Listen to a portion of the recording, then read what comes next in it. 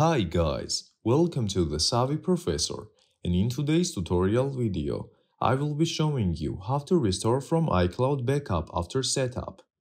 Watch this video fully so you will know how to do this. In order to do this, first open settings of your iPhone and search for erase here and go to erase all content and settings. Now tap on erase all content and settings at the bottom and tap on continue.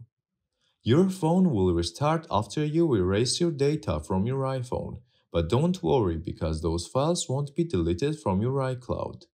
Now, after your phone restarts, you will be seeing a setup page on your iPhone. Just tap on Restore from iCloud Backup and then log into your iCloud. That way, you will be able to restore your iCloud backup on iPhone without any problems. That's it. I hope this video helps you. Thanks for watching.